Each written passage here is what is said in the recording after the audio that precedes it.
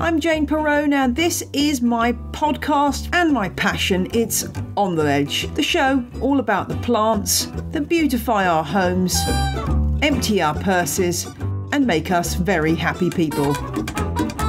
This week I'm talking to a chap they've called the Whiz Kid of Wisley. That's Matthew Pottage, who is curator at one of the best known gardens in the UK, the Royal Horticultural Society's Wisley Garden in Surrey. So he's got a big passion for outdoor plants, but not everyone knows that he's also really keen on indoor plants too. I got the chance to hang out in his office and meet some of the plants in person and find out why he had two of the biggest Schlumbergeras I'd ever seen sitting on top of his filing cabinet. And we've got a question about a floppy Kohleria. Now, if you've never heard of Kohleria, it's a member of the Gesneriad clan, and we'll be finding out more about this brilliant plant and how to stop it getting leggy later in the show. I've been delighted to welcome a whole new clutch of patrons to my show since last week.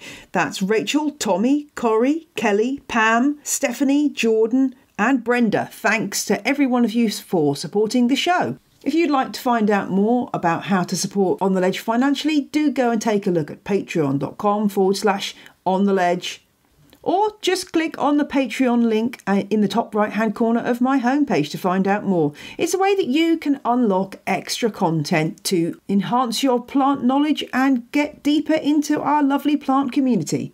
And one of the great things about Patreon is it's allowing me to do extra new stuff for my listeners. And when I reached my first Patreon goal, I decided to do a Facebook Live to celebrate. And that happened last Monday. If you missed it, then you can catch up by watching it again on my Facebook page, which you'll find at On the Ledge Pod. In it, I talked about some of my favourite houseplant books.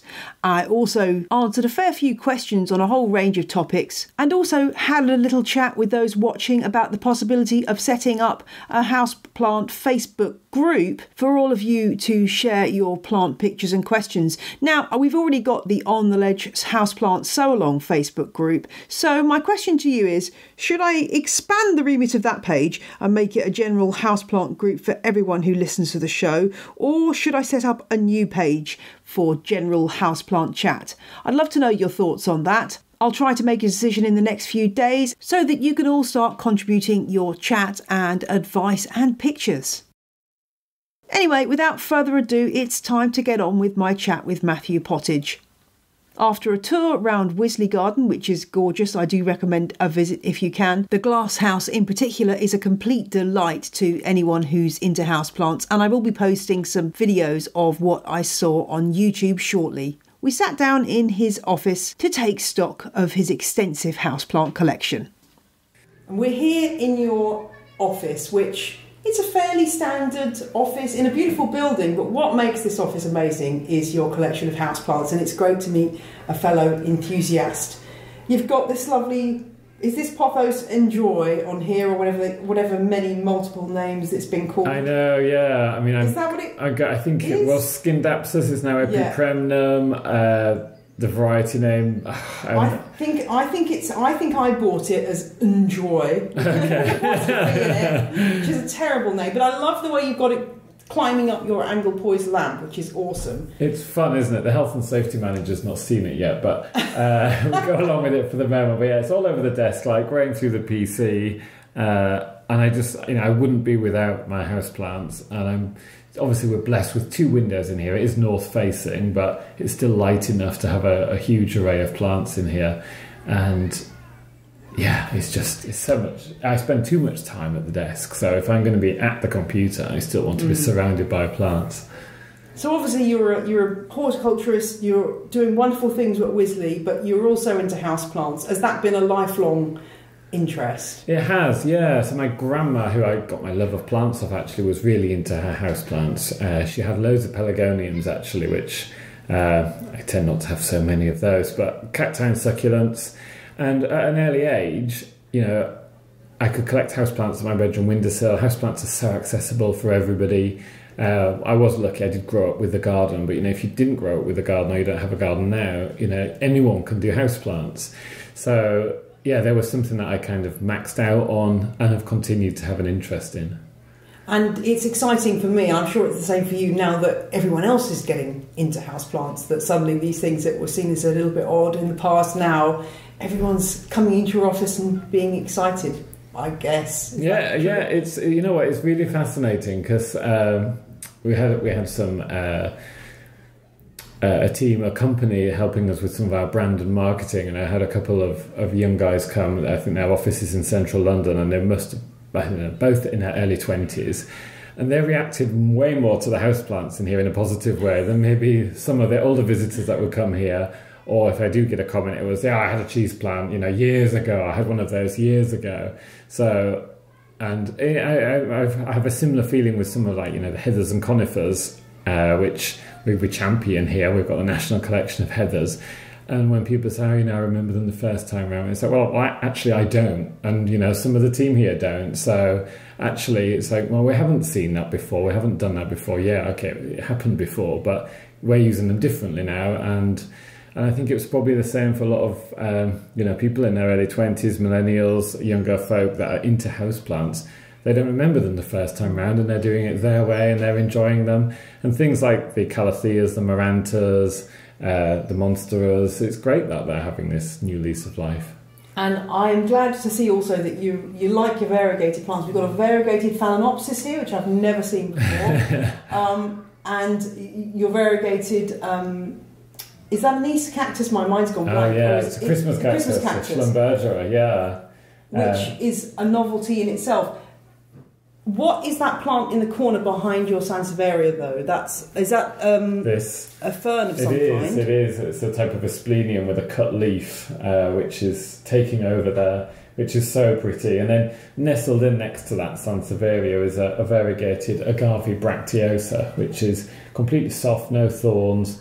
There's pretty white margins and it was actually a present of lovely uh, Helen Dillon, and I was visiting her garden in, in Dublin and spotted it in a glass house. I said, "Oh my god, I've never seen a variegated one of those before." And she's like, "Take it, have it. You know, you like your variegated plants, and I don't have space for it anymore." I said, "No, you don't need to give it to me." So she did. Very sweet of her. And you know, it's lovely when a plant comes with a story like that, and and that will sit on there and remind me of that visit, which was which was really cool. And you wrote recently a whole feature about Sansevierias for the RHS magazine, The Garden, and you it's not just any Sansevieria you've got here, it's this lovely Bantel sensation, which is really stunning. It's lovely, isn't it? Yes. Uh, it was fun to write that piece, and everyone knows the Sansevieria, I think Laurentii, the, you know, the more regularly seen one with the yellow variegation. But it was really nice to, to highlight other cultivars, other species, and it's a bit of a a catch 22 with some of that because sometimes you highlight plants that are actually difficult to get hold of and then you know a, a man wrote to me saying how silly to do an article on plants we can't get hold of but you know they are difficult to obtain. They're not impossible to obtain but sometimes you need to highlight these more unusual things to bring them to people's attention. And then when people start asking for them at the, the garden centres you know the demand picks up you know how it works. And and on the back of that article, actually, our plant centre do have a lovely range now of Sansevierias, and they are selling really well. So, well, that's interesting. It's, it's I think cool. you're right. I think that's the thing. It's it's if you plant that seed in somebody's mind, then if anyone is a plant addict, they will then go looking and asking, and then yeah. that's how garden centres and nurseries know what people are after. Yeah, it is. Um, it is. And there's one of the ones that I featured in the article called Twisted Sister, which has got mm. lovely spindly uh, twisted leaves, and I got that from uh, it was a British Cacti and Succulent Society raffle years ago at, at Church Hall, and you know it's out and about, but and I've had my plant for years, but it was just to showcase like you know there's there's more to them than just mm. the old Laurentii that you see around. um, now, what else did I want to ask you about? Um, so, you've got these two amazing Schlumbergeras here, which have been donated to Wisley. Does that happen a lot, where somebody's had a plant that they just don't can't look after anymore because it's too big or too old, or yeah, quite often, and it's quite a sweet thing. Often it it can be house plants. It's typically cacti and succulents actually that someone's had for years and mm. years and years, and they've wrote to us and said, you know, we just don't have the heart to throw it away. And we can't always say yes because sometimes, you know, it's either really well represented in the collection and you know we could fill that glass house ten times over we have here. But uh, these two particular ones that are sitting in here today, uh, about 35 years old, and a lady wrote to me and she said we're having a house renovated. We, we can't keep these anymore. Uh, would, would you take them on? And and they're so special because of the size and the age.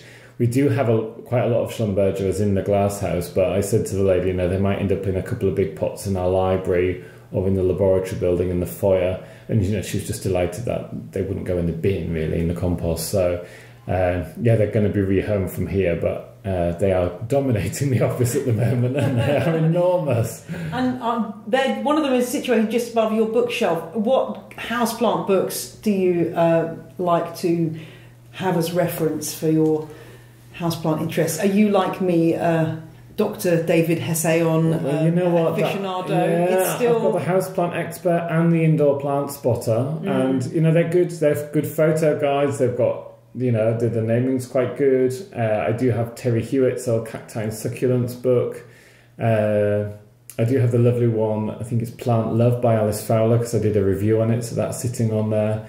And um, yeah, I still I, I like to look at the old cultivars and still just reference back.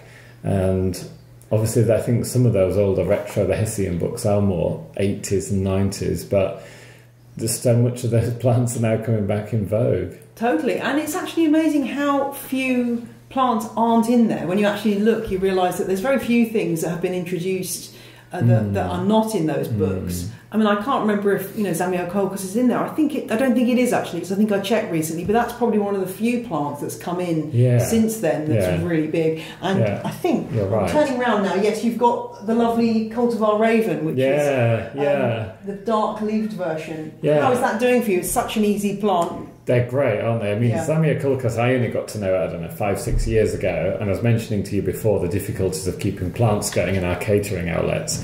And the Zamioculcas are really good. They sit in there with the aspidistras, dragged into the sun one day, dragged into a dark, shady spot. Somebody sits on it, the chair falls on it, and they're remarkably tolerant. That raven, because I'm on a north facing windowsill, isn't looking very full and it's not grown much since I've had it. But I'm hoping if we ever get some sunshine, that's going to start uh, doing something a bit more active. But yeah, you're right with the introductions thing. I mean, we, you know, was looking at the variegated Swiss cheese plant before in the glasshouse, which is really sought after at the moment. But yeah, that's in the old Hessayon books. It's nothing new. It's been kicking around forever, but I guess not in big numbers. Yeah. And and that is interesting just with variegation, isn't it? Because I think with some people are such purists, they can't cope with any.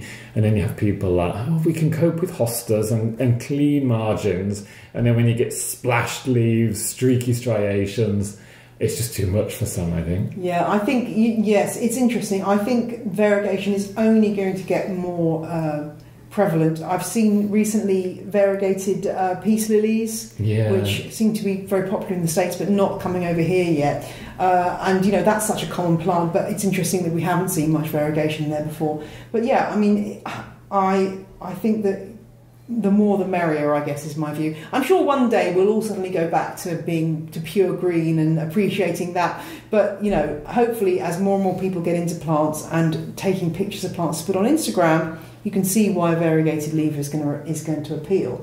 Um, and yeah, I mean, your office is a great example of of how to do it. And you've got an African violet, which weirdly, although I, I'm a big fan of Gesneros generally, I've been very funny about African violets. I had this kid, and you've got a variegated, Yeah, a of variegated course. Sequoia, of course, which is doing an incredible kind of like um, balancing act. I like.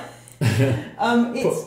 It needs watering, actually. It's a balancing act between life and death for it at the Yeah, moment. well, it needs a good drink. well, that's the, the nature of all of these plants. Is is you know you can let them go right to the brink, can't you? And it's probably better for them to be doing that, given how they grow in the wild. But it's I'm I've just got my first gone back into St Pauli's, and I've gone miniature. I've got one of the very Oh, yeah. tiny Yeah. one called Max Blackjack, which I'm looking forward to seeing how that's going to turn out. But it's quite a nice miniature plant. That was one of my tips actually at this event I did last week was miniature plants becoming Mm. in. Um, I don't know if I, that's whether I'm in cloud cuckoo land, but I mean it's lo- all these monsters and things like you've got in here. They're lovely, but if you've got a tiny windowsill and that's all, yeah.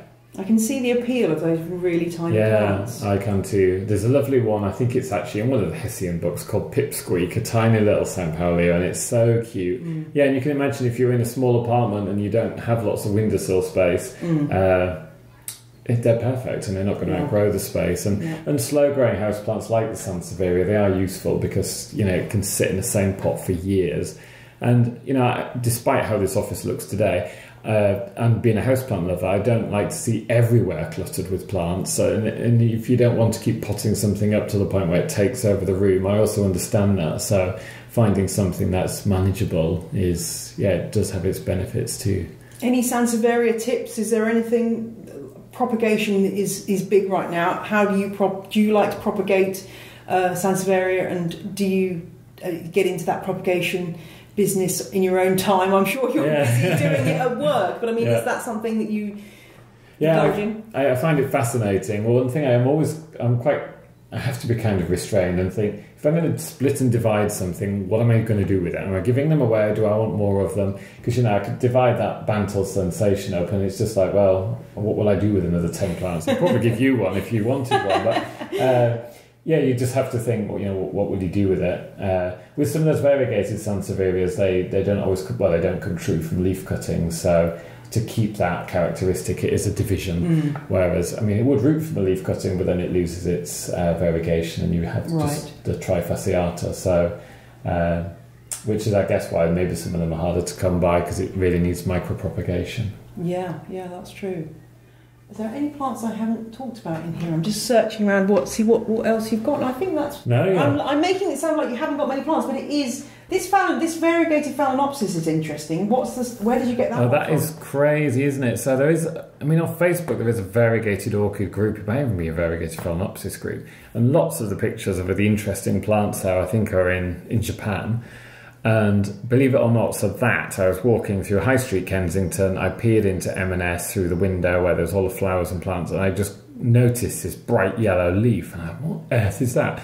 And was just on the way to lunch and was running late. And I said to my other half, I have to go in there and buy that plant. And he's like, oh no, not again. Oh, come on. There's just orchids. You know, like any of the phalaenopsis, you can buy them at petrol stations now. And it was just among a mix, a batch of different phalaenopsis. Of course, it was the only variegated one there. The flower was going over on at the time, so it was reduced, and I think it was a fiver or something. Uh, So was that So- just an aberration? I mean, was that supposed to be? no, do you it think wasn't. it It was just, just slipped through just the net, I guess. net? Wow. And, and I guess maybe, maybe one of the growers thought when it was coming out, I imagine it came from Holland originally. I don't know where they buy their plants from, but you can imagine either someone not noticing it or thinking that'd be fun when a planty person spots it, Mm. and it'll be someone's pride and joy, and maybe other people will just think it's ill. but but yeah, it's very generous, big uh, yellow bandings. And again, it's always interesting just how people react to that when they come in the office because I have, you know, loads of the garden staff come in here and other visitors, and some people go, "Whoa!" or some people go, "Oh my, oh, why are you making space for that?" There is there is a big split, I think, between those who would appreciate that and those who would find it um, deeply offensive. Yeah. I, yeah. I, I'm just fascinated by by all of that. So I think it's it's it's something to be appreciated. It's a curiosity for sure, but it's it's doing something, and it's got beautiful flowers as well. So yeah, what's not to like? I'm wondering whether flowering, other other than orchids, whether flowering houseplants are going to have their day more. Um, you know, I'm kind of getting into back into achimenes and Oh, yeah. and things Yeah. like that. Um, but they don't seem to be so popular in terms of what's going on on style wise. No. Perhaps I'm still out of step. No, no, I think you're right. And I was I was doing an internal document actually for the RHS on house plants in offices because we're you know we are having more plants throughout our offices, which is really cool. And I was doing you know some top tips on foliage plants and ones to try. And then I was thinking flowering plants. You know what good easy flowering plants? Spathiphyllum is a classic. Clivia is. But then some of those, you know, you look in the Hessayon book, the shrimp plants, the Justicia, the lollipop plant, Pachystachys lutea, they're fun and they're good too, but I don't think they're not having their moment, you know, right now. They're not available so much. You, you're going to come across a load of different echeverias and aloes before you see something like that. So yeah, maybe they're going to, maybe that's going to come next. That's my hope. That is, that is all I can hope for. And I'm just also admiring this very nice copper. Um, is that a watering can or is It's- that? it's my water jug, yeah. In fact, this is very timely because I was on eBay googling copper watering cans Oh, the other day. Um, because and, and it's actually amazing that that again something my parents had uh, were you know and I sort of would obviously look at a few years ago looked at snootily and now it's all back in fashion. Yeah, it is. I Um, fill that up every morning, and it makes me drink water through the day. And if Yeah. there's anything left in it, some lucky nearby go to the plant. plants. Yeah, so Yeah. I think it's the St. Paulius turn tonight. Yeah. Well, it's you, you yeah you're not going to kill that through underwatering, are you? That's the that's the good thing. no, exactly. Thanks so much to Matthew for his hospitality at Wisley. And if you missed any of the plants that Matthew and I were talking about in that interview, do check my show notes at janeperrone.com where I've put a list of all the plants we mention. And now, question of the week, which comes from Jennifer Weinzell, who's got a question about Kohleria. So, this is a plant that is part of the Gesneriad family, as I've already mentioned. It's spelt K O H L E R I A. And they're known for their beautiful flowers. They're Sorry, the dog's jumping on the couch. They're known for their beautiful flowers, often speckled in a variety of different kind of citrus shades of red or orange or yellow. And they can grow quite large, anything from about 15 centimetres, that's six inches, anything up to about a few foot tall, which could be, well, about a metre high. And Jen says, I obtained a tiny propagated Bristol's possibly bronze, which is a cultivar of Kohleria, from a woman during the winter months and have watched it turn from a speck of a thing to a decent sized plant with flower buds. One of the buds has just fully bloomed and several more are in the process. The issue I have is how weak the stem is. Is this normal in this variety, perhaps? There is only one main stem which also concerns me. Any tips or experience with Kohleria? Well, I'm in about the same position as you, Jen, perhaps a little bit further behind. My Kohleria that I bought as rhizomes from Dibley's, the nursery in North Wales in the UK, earlier this year, are sprouting, but they're not at the stage of flowering yet. But I'm sure that I'm going to be having some great success with this plant because I do love my Gesneriads, as any of you who listen to the show regularly will know. This family involves plants like St. Paulias and Streptocarpus, Chiritas, aka Primulinas, and they're really quite easy to look after provided you don't overwater them.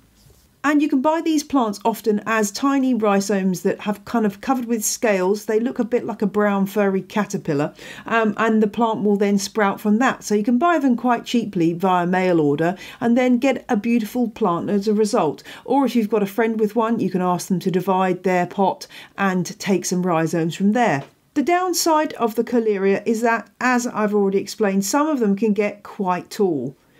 But the good news is they take really well to being hacked back, and in this case, that's exactly what I do with Jennifer's Bristol's Possibly Bronze. I've seen a few pictures of this plant, and it's really rather beautiful with bronzed leaves and bright red tubular flowers with a yellow throat and speckling inside.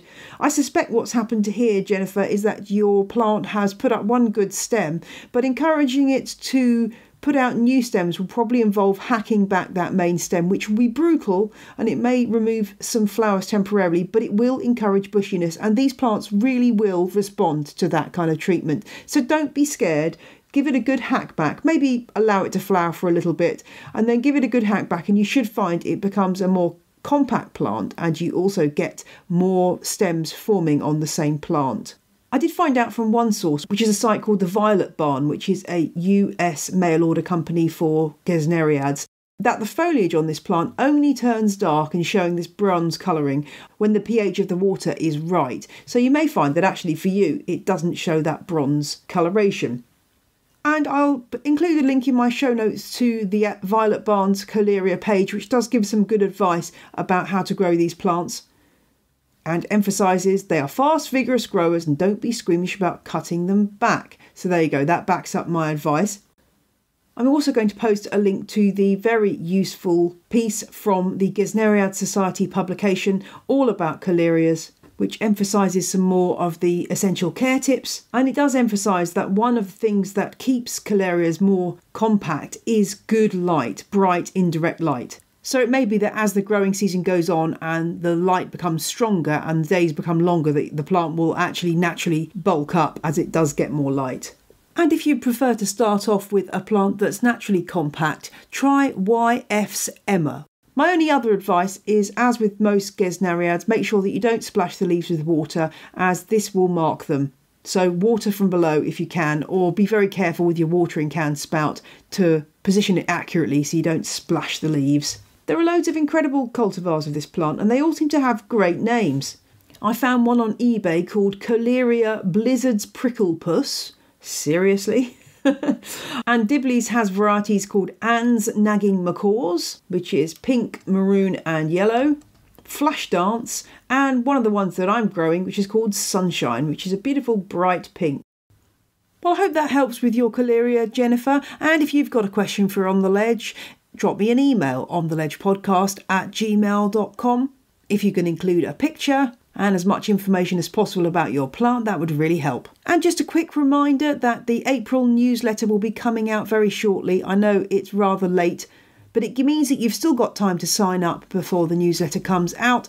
You can do that by visiting my homepage, janeperrone.com, and clicking on the newsletter link. Also, check on the show notes for this episode, episode 46, for details of public appearances I'm making this year, including the Hampton Court Palace Flower Show and Gardeners World Live. I know, you'll be sick of the sight of me soon, won't you?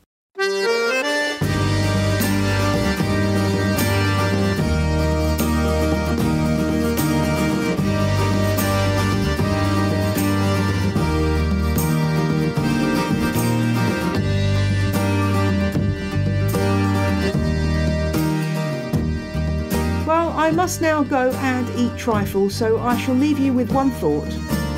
When life gives you lemons, just cut those suckers open, grab out the seeds, and start germinating them. See you next week. Goodbye.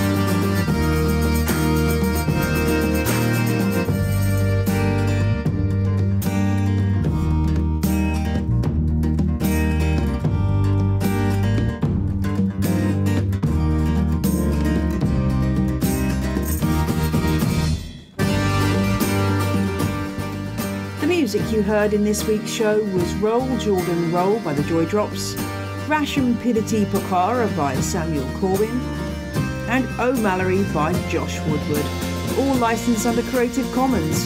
See my website for details.